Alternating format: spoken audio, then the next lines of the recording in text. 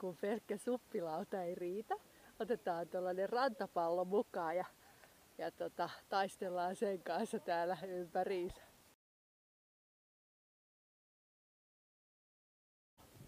Tää... Sarvinen, sarvinen, eli yksi sarvinen. Sarvinen, se nyt on. My Little Pony. Niin, My Little Pony. Eikä mikään sarvinen. Ei sarvinen. Pyytää pois sarvinen. Never. Hetkinen, ei pysty. Tökkää. Tökkää. Woo!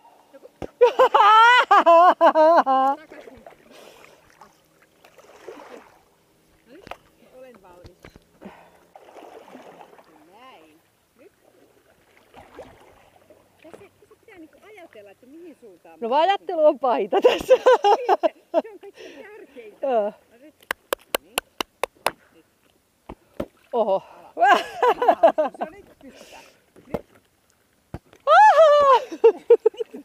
Me ei hirveän pitkään palloutu. me ei saada ikinä kolmea.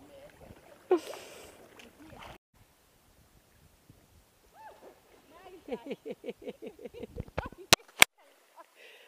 en tiedä mihin suuntaan menen. Yhtäkkiä oon tuolla taas tuolla rannalla.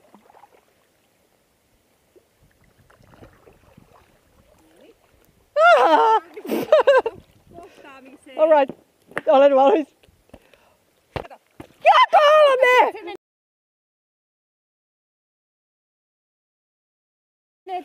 Ei se haittaa mun vuoro hakee. Joo, tuonne vähän keskemmälle.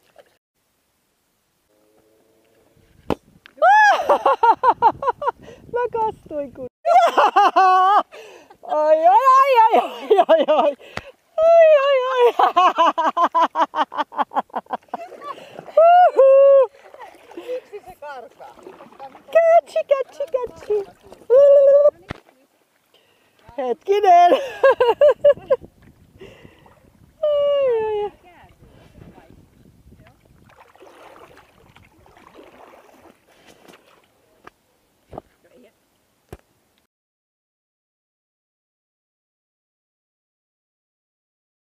ollaan tarpeeksi lähekkäin.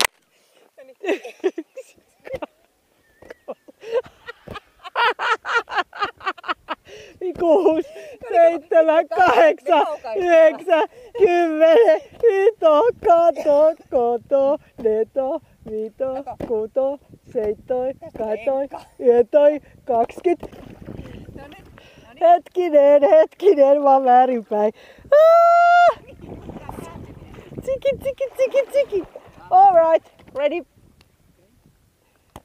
Ei.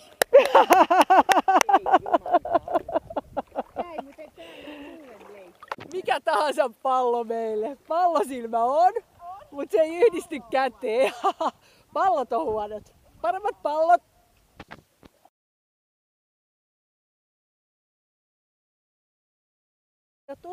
Että jos nämä melat olisi pehmeämmät, niin näillä voisi hakata toisia, niin ottaa sellainen kisa.